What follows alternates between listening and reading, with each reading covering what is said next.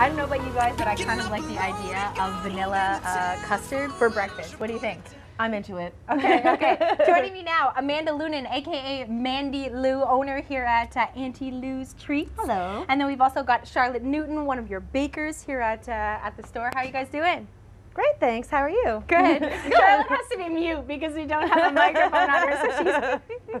Uh, what are we making today? Well, today we're going to assemble our famous Nanaimo bars. Uh, Nanaimo bars are actually native to Canada. They originated from Nanaimo, BC.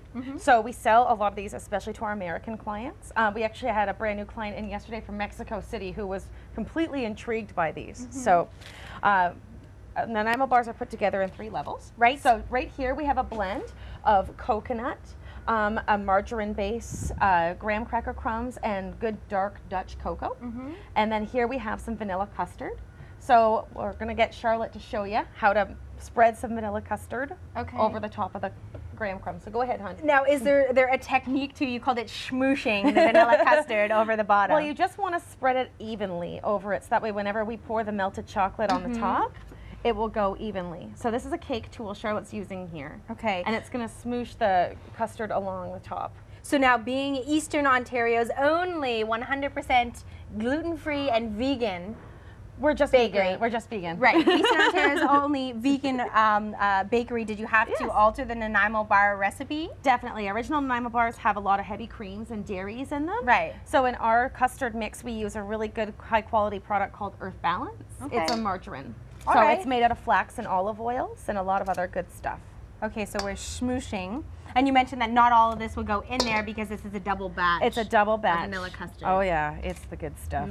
Imagine you just put it all in there. okay, so then uh, once Charlotte is finished smooshing, is this hard? Can I try? Let her try. Okay, so it, it kind of reminds me of um, drywalling. Yeah, you want to spread it right to the edges. All right, right to the edges, There but not go. too thin, right? Just so that way it's even like the rest I of the know, custard. It's okay, you're good. There's lots of room for error in this. Your You have hard nothing to worry about. Okay. Uh, Should I, should I take more? Yeah, you can take more? a little more. Yeah, A little bit more. Okay, go for it. go in there. All right.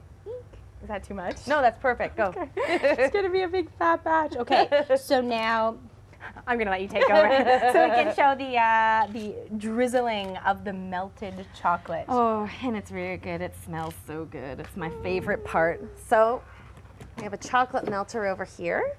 Oh gosh. And then this is an offset spatula. A spatula. Okay.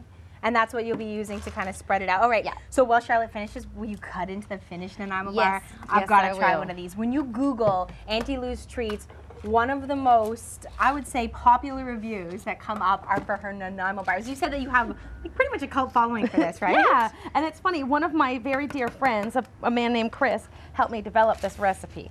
So thank you very much, Chris Horton. You're the best.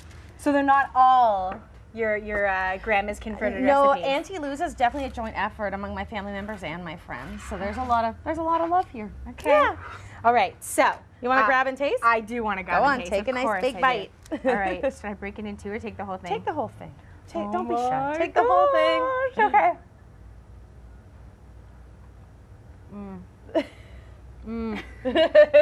Really good. Thanks. What are we making later in the morning? Uh, we're going to be making some strawberry frosting, and we're also going to be making some lavender cake. But the recipe I'm going to show can be used at home with any of your favorite teas and/or herbs. Excellent. In the meantime, head to the uh, Auntie Loo's website. This is so good. I'm finishing the whole thing.